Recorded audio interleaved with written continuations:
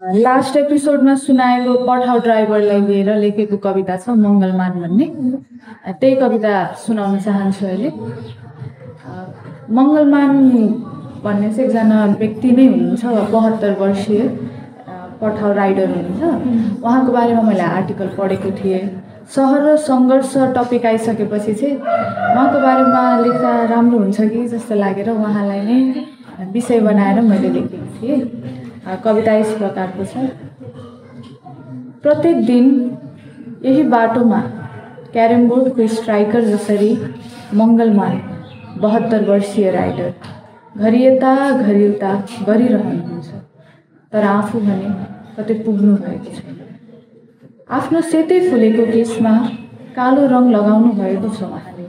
सायद उहाँ उमेरसँग पनि सङ्घर्ष गरिरहनु भएको दिनभरिको यो दोहोरमा उहाँ पुर्याउनुहुन्छ प्रेमीलाई प्रेमिकासम्म बिरामीलाई अस्पतालसम्म बेरोजगारलाई जब इन्टरभ्यूसम्म श्रद्धालुलाई मन्दिरसम्म कुनै को कोलाई कुनै कहाँ कहाँसम्म? आफूलाई भने बिहान बेलुकीको एक बुवा यो उमेरमा पनि राइडर? जागिरपछि काम नगर्दा जिउ दुखेर नि नानी। काम गर्दा दुई चार पैसा कसैलाई कुहार्नु पनि नपर्ने शरीर पनि नदुख्ने। त्यही बाइकमा बसेर म हेर्छु। चिया पसलमा गफ लाउँदैछन् केही युवाहरू जसको अनुहारमा फ्रस्ट्रेसनले निधार पुम्चिएको प्रष्ट छ। कस्तो विरोधाभास। देशमा केही छैन भन्दै विदेशीकालाई एयरपोर्ट पनि छोड्नु भएकै छ मङ्गलमा तर आफू भने थाक्नु भएको छैन।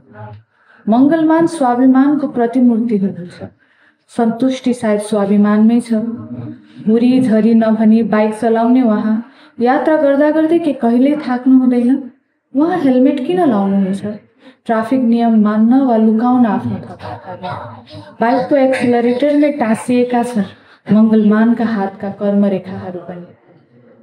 हठात कुनै दिन भिआइपीहरूको सवारी रुटमा पर्यो भने हठात कुनै दिन पेट्रोलको भाउ आकाशियो भने मङ्गलमानको जीविकामा पनि ब्रेक लाग्न सक्छ। मङ्गलमानको बाइकले यो सहरमा समयलाई हिँडाइरहन्छ। मङ्गलमानको सङ्घर्षले बोकेको छ जिम्मेवारी समयलाई समयमै गन्तव्य पुर्याउने। तर हतारै हतारको यो सहरमा दौडा दौडीको यो सहरमा अस्तव्यस्तताको यो सहरमा कहिले सोचेको छौ? यो सहर जस्तै हतार यदि मङ्गलमानलाई भयो भने यो सहर बिच सडकमा लड्नेछ।